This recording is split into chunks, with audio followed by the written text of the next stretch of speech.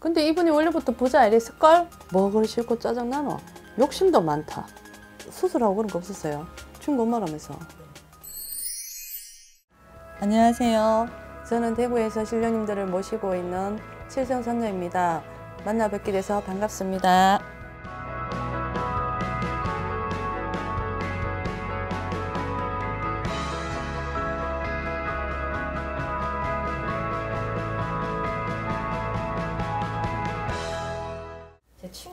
어머니가 엄청난 부자세요. 음, 그래서 그분 네. 요즘에 많이 조금 음, 고생을 하고 계시는데 음, 구설수로 인해서 음, 그래서 그분의 사주 좀 제가 부탁드리려고 음. 해요. 네. 1956년 6월 23일생. 근데 이분이 원래부터 부자 이랬을걸? 자수성가 있을걸? 자수성가 있다 하는데요. 본데 이 사람이 돈이 나가라 하는 사주라요. 65세 같으면 돈이 안 나가면 몸이 치락하는 사주라요. 자식이 복이 있다 소리는 안 나온다. 이분 사주에 뭐 부자 엄마라 하지만 부자 부자라 하지만 이 사주에 돈은 안 들어 있어요. 본인이 안 빌면 돈 안 들어 있어요. 가만히 한 자리에 앉아 있지는 못합니다. 못하고 움직이는 거 그런 걸 하셔야 되지. 한 군자리 가만히 앉아 있지는 못하실 거예요. 욕심도 많다. 이분이 얼굴이 좀 살이 없어요. 있어요. 있어요. 많이 있어요. 이분 한 번 크게 막 이렇게 이쪽으로 뭐 수술하고 그런 거 없었어요.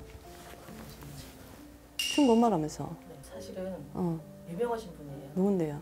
최순실 아시죠? 이 사람 머리는 좋아요. 머리가 좋으니까 가지. 근데 욕심도 엄청나게 많아요, 이 사람이. 아직까지 그 욕심 안 버리고 있을걸요. 나가서 또 뭘 해야 되지 하면서 그 생각하고 있어요. 사주 자체에서 돈이 없는 사주예요. 부모한테 이렇게 유산을 받아도 이 돈이 이제 나가라 하는 사주, 탕진하라 하는 사주. 말년에는 이 사람이 이제 끝대기만 남겠지. 뭐 자식도 뭐 복이 없다 하는데. 지금 나이가 꽤 음. 많잖아요. 근데 65살 같으면 많지. 지금 징역 18년이란 말이에요. 음. 이 사람이 나왔을 때. 나왔을 때내뭐이 사람 또 뭐 하려고 한다니까? 나왔을 때도 이 사람이 70, 80대도 이 사람은 욕심이 많아가지고 그 욕심을 못 버린단 말이지. 머리를 쓴단 말이지. 잔머리를 쓴단 말이죠. 그럼 사주 자체에서 이 사람의 체온은 어떻게 될까요? 채우는 비참하지. 쪽방에 안 살면 다행이지. 살면서 어떻게 살았는지 정확하게 잘 모르겠지만요. 이때까지 65살까지 살면서도 깨끗하게 살았다 소리는 안 나옵니다.